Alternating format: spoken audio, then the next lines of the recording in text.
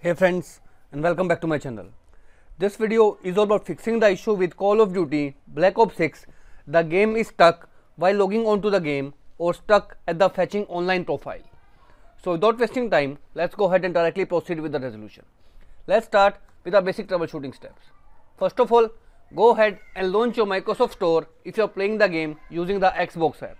Now in the Microsoft Store, in the left pane, click on the option library and if any update is available regarding the Xbox, choose the option update.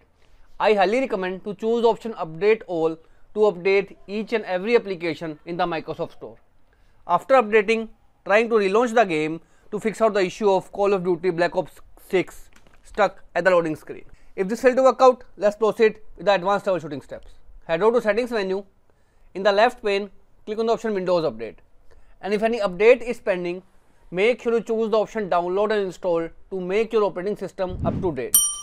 And nextly is scroll down and click on the option advanced options. Now click on optional updates. Now from here also if any driver update is pending make sure you check mark all the options available right over here. It is mandatory step to update the optional features. After check mark the options choose the option download and install. This will update all the drivers and your up windows and in turns fix out the issue of Black Ops 6 stuck while logging onto the game. If this also failed to work out, let's proceed with the next step. Simply go ahead, launch your game using the Xbox or the battle.net launcher, whichever you are using. Select the library. Now whenever you hit the play option, the screen started to show. At this point of time, you need to keep spamming the spacebar option. Keep on tapping spacebar, tap tap tap tap tap. In few seconds, the game will start to launch and the issue of Black Ops 6 stuck when logging onto the game will be fixed out. This is a simple hack however worked for many users.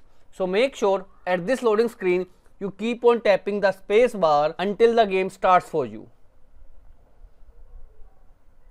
Now if this was also failed to work out, let's proceed with the next step. Head over to this PC, from the left pane you need to click on the option documents. Now in documents you will find a folder with the name Call of Duty. Open it and here you will find players folder. Right click and choose option delete.